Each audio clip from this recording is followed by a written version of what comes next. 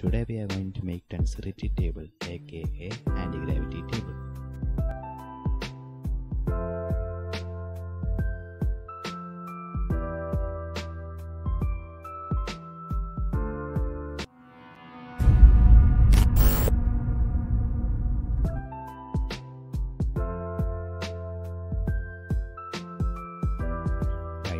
Tensegrity table was an arrangement of two upper and bottom frame of a table which in our case is ice cream stick and some threads.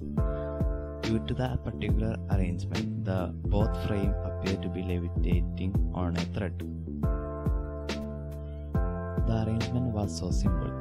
All vertices of the frame is connected with some thread.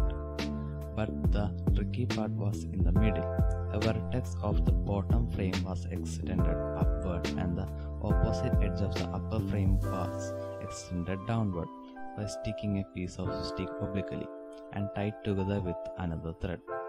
But in this case, the part of the lower frame was at the top and the upper frame was at the bottom. This is the reason for the levitation.